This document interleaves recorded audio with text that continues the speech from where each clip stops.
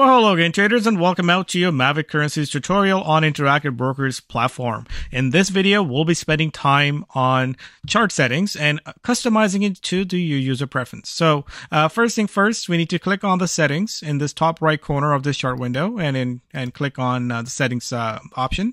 And this is where we get to play around with a whole lot of options, and you can check and uncheck based on exactly what you want to see on your chart. So you can see there's a whole lot of options available. VWAP on the top on the bar. You can add um, intersection between trading days. You can show some tra- candle outline, and there's so many things that uh, you know some traders pay more attention to than the others. So you can get to check and uncheck, and based on that, you'll be able to see more of those settings. The second option is the layout there's not a whole lot to change over here, but you can do add some bit in the ask on your y-axis.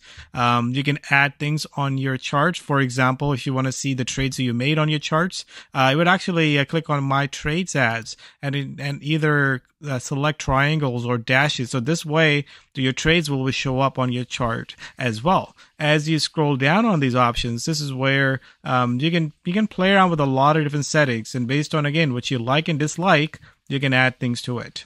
Now let's move on to other options like the chart colors. Uh, this is something that I know some traders like the black background, where some traders like the, the, the white background. So this is where you can actually control and change every little aspect of the chart. So we can click on this and say, well, I want a white background here and click OK.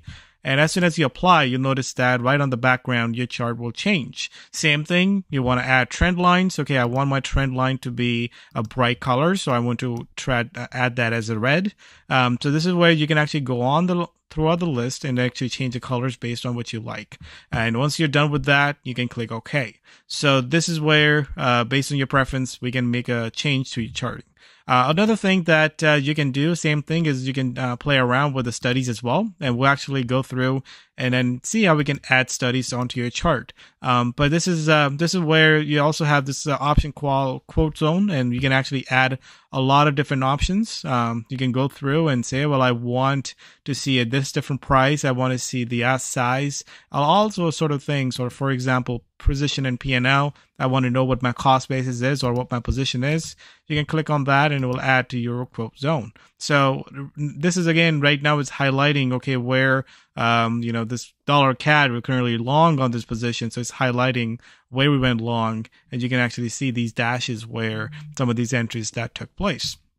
So uh, this is uh, this is where we go and get those things set up. You can also configure the font as well uh, by just clicking the same option. Click on Configure Font, and this is where you can actually customize your font size. So, for example, if you're trading on a small screen, you can actually uh, increase the the size of this and click OK, and notice that the the the size of the chart will actually increase. So it'll be easier to read the numbers, especially if you're trading on a smaller uh, screen. So this is uh, on the left hand side, you'll notice that we have the settings, we got the toolbar. So this is where all these little toolbar options that you can add onto your chart as well. And that will be available to you very, uh, in this, uh, in this quick, uh, quick links over there. Chart colors, we play around with the quote zone. Uh, this is, this is an option that you can actually add onto your chart. If you don't, um, there's a, there's a quote panel you can click on it, and right there you will have uh, a quote, and you will have all this information that you probably want to see. For example, what's the position, what's the change, what's the bid and the ask size, uh, and based on that, you'll be able to do to make those changes. Uh, also, notice that every single window that appears has this little toolbar option.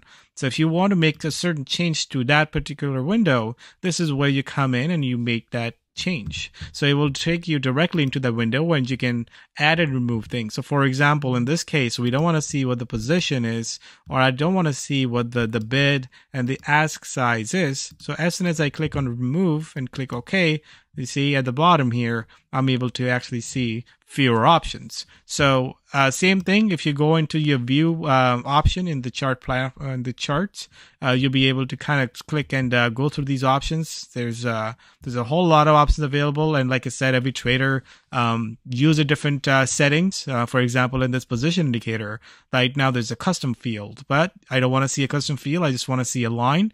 You click on that, and you click on line. So you see every single little thing can be customized in this platform. So you just have to spend a little bit more time, play with a little bit more settings in order to get the, the best results. So this is where view, uh, under, under the view, you'll be able to see a lot of different options you'll be able to add a lot of different studies to your chart. So for example, I want to uh, add a study. So you just right click on the chart and then you say, I need to add a study. So in this case, I can go and say, well, I need to add a 200 moving average to the chart. So all I have to do is simply click that and I'll have all these three options here. So notice that they're all different colors. So what I can do is that I can right click on this little indicator or we can actually um, right click over here and say I need to change the indicator size and color so I can actually just go and say well edit, edit this indicator. So I have a 20 and the 50 day moving average. I want this to be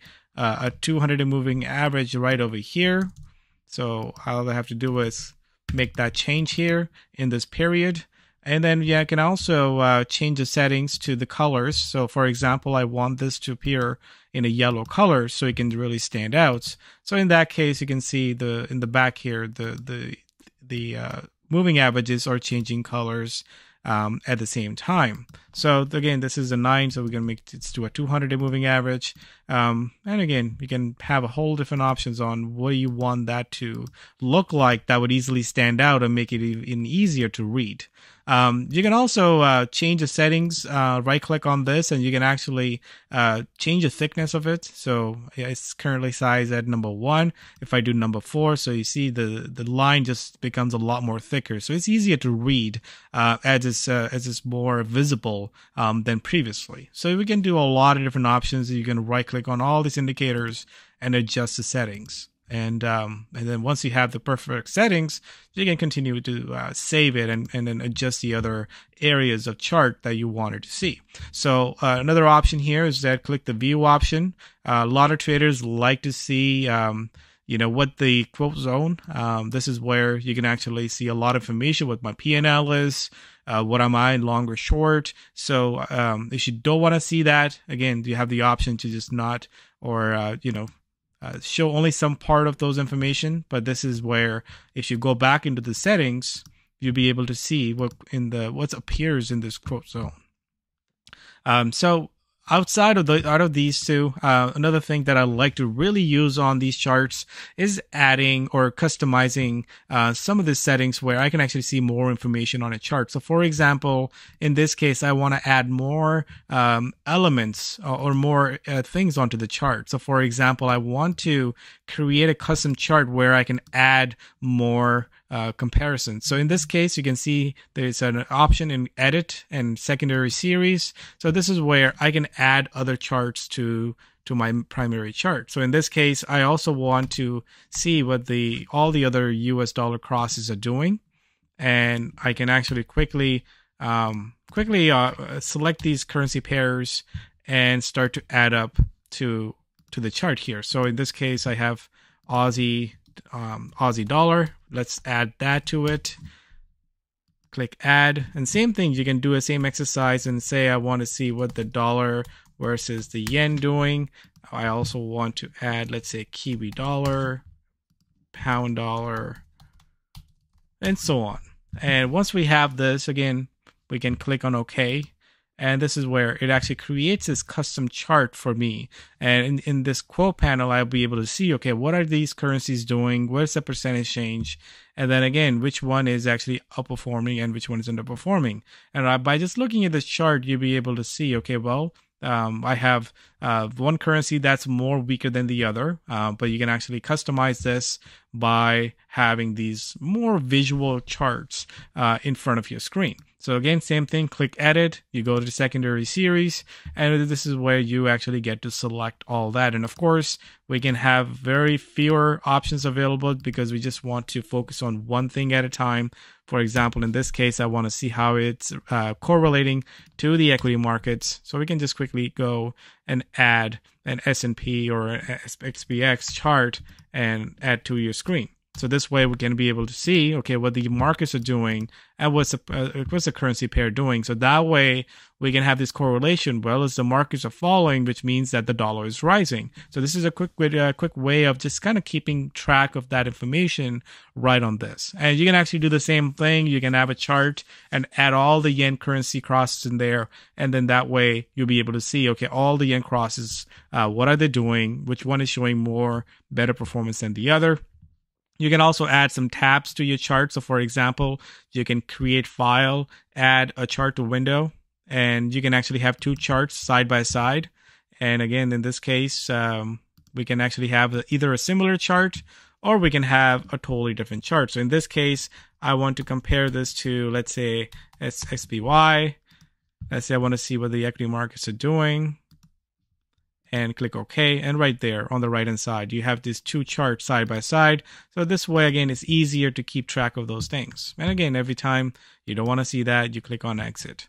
Uh, the other option that I really like to use, again, not taking away the space from my primary chart, is by clicking on edit and also um, clicking on, sorry, clicking on file and clicking on create a new tab. So this way, instead of having multiple uh, charts on the same window, I can create uh, separate tabs for each chart. So for example, I have dollar CAD here, dollar yen here, and so on and so forth. That way, everything is just on the tip of this uh, little chart toolbar that you can click on to completely uh, make those uh, changes or have different charts available with different settings. So that's a quick uh, preview for how to customize your TWS chart settings. Um, I would recommend playing around more with your uh, global configuration. You know, same thing, same process. Click on File and Settings. You'll be able to play a lot of different options to it. And as soon as you have a good options that you really like, I would recommend uh, clicking File and saving this template. So in that case, if you ever lose a template, you'll be able to just recover that template without having to go through this process all over again. Same thing, you can do that for the chart individually, or you can do that for your Trader workstation by clicking File and Save Settings As. Thanks for watching. See you in the next uh, tutorial.